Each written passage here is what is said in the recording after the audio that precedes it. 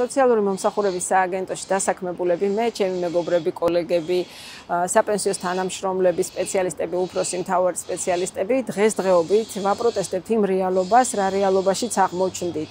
ხელფასები, რომელიც დააწესეს 2007 წელს თითოეულ პოზიციაზე.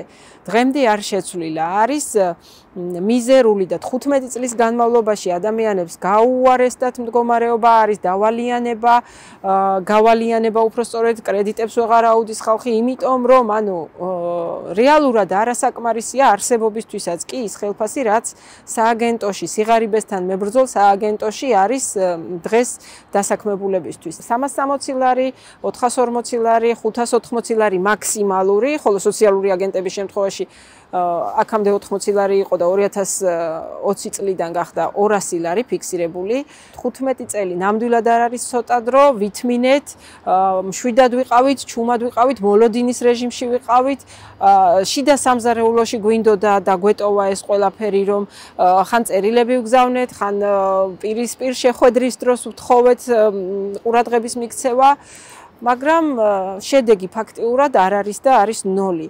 აგენტებს კიდე დამატებითი პრობლემა გვაქვს ჩვენ მწირ ხელფას ვახარჯებთ ისევ სააგენტოს, იმიტომ რომ აგენტის საქმიანობა არის დამოკიდებული ოჯახამდე მისვლა გჭირდება, ხო, ელემენტარული. ადგილზე ხო არ მუშაობთ ჩვენ და აქედან გამომდინარე მივდივართ ოჯახში საკუთარი ხარჯებით. სააგენტო არც ერთი თეთრით არ გვიფინანსებს ოჯახამდე სამსახურებრივი მოვალეობის შესასრულებლად გაწეულ ხარჯს. არ გავჩერდებით ესე უბრალოდ იმიტომ რომ მართლა შეურაცხყოფელია და თანაც ამ ქვეყნის მოქალაქეები ვართ. თუ ერთ ნაწილზე ზრუნავს ეს სააგენტო და ჯანდაცვის სამინისტრო, ხო? იზრუნოს საკუთარ დასაქმებულებზეც. ჩვენ ხო ფუფუნებას არ ვითხოვთ არა? ადამიანები ითხოვენ იმ შრომის ანაზღაურებას და იმ პასუხისმგებლობის ანაზღაურებას, რაც დააკისრა სააგენტომ. საქსტატის მონაცემებით საშუალო ხელფასი რომ დაითვალეს, ხო? იმის ნახევრის ნახევარი აქვს 360 ლარზე რომელი ორგანიზაცია მუშაობს? მაქსიმუმ 580 ლარზე რომელი სამინისტრო ამუშავებს თავის კადრს? გარდა სოციალური მომსახურების სააგენტოსი, გარდა ჯანდაცვის სამინისტროს, შრომის სამინისტროსი.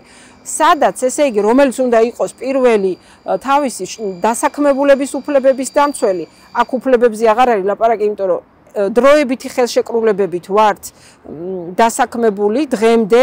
16 წელია სოციალური აგენტი ვარ და ერთთვიანი ხელშეკრულებებით ვიყავი და ეხლა ექვსთვიანი ხელშეკრულება ხელშეკრულება გვაქვს გაფორმებული. ეს არის შრომის კოდექსის დახევა შრომის სამინისტროს მხრიდან.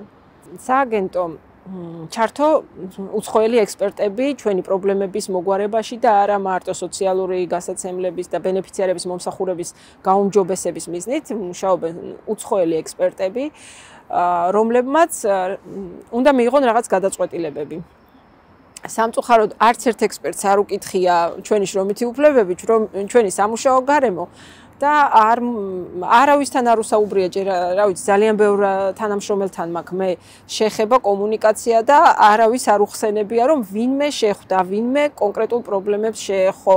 ჩატარდა რაღაც ონლაინ გამოკითხვა რომელიც სადაც საერთოდ არ იყო ხელფასის ოდენობა ნახსენები ეხლა უცხოელ ექსპერტს შეიძლება ეგონოს რომ ნორმალური ხელფასი აქვს და იმის გაუმჯობესებას ითხოვს იმიტომ რომ დარწმუნებული ვარ ჩვენი პარალელური სოციალური სამსახურები, რომელიც მათ ქვეყანაში არსებობს, ხო? ამ ხელფასზე არავის არ ამუშავებს და 100 დოლარზე, 127 დოლარზე დარწმუნებული ვარ არც ერთი სამსახური არ ამუშავებს, მით უმეტეს სახელმწიფო უწყება თავის დასაქმებულს. ხალხს გონია რომ რატომღაც ჩვენ ვართ ხულის დამთვლელები და გონიათ რომ ჩვენზეა დამოკიდებული ვის ვის მივცემთ დახმარებას და ვის არა რეალურად ეგრი არ არის ძალიან ხშირად გლანძღავენ, წევლიან, ფიზიკურად ძალადობენ, ძალიან ბევრი რისკები ახლავს ჩვენ ჩვენ უშუალოდ კარებს დახურულ კარს მიღმა მუშაობას თან. სააგენტოში დასაქმებულებისთვის ძალიან მნიშვნელოვანია საზოგადოების მხარდაჭერა, იმიტომ რომ ჩვენც ვართ საზოგადოების ნაწილი, ჩვენ თვითონ ზრუნავთ სხვა ადამიანებზე და ძალიან მნიშვნელოვანია რომ ვიღაცამ თუნდაც სოლიდარობა გამოგვიცხადოს, გვერდში დაგვიდგეს ნებისმიერი ფორმით, თუნდაც კომენტარით, თუნდაც პატარა რაღაც შემოერთებით, იმიტომ რომ ჩვენი შრომითი უფლებების დარღვევა ავტომატურად ანუ თუ შრომის სამინისტრო არიცავს საკუთარი დასაქმებულების უფლებებს, ხო? არც არავის არ კონდეს მოლოდინი, რომ სხვისა უფლებას დაიცავს, ხო? ამიტომ ერთმანეთს უნდა დავუდგეთ გვერდში, შრომელები განსაკუთრებით არ უნდა დავემონოთ და არც უნდა შევეგუოთ სხვისა მონურ მდგომარეობაში ყოფნას.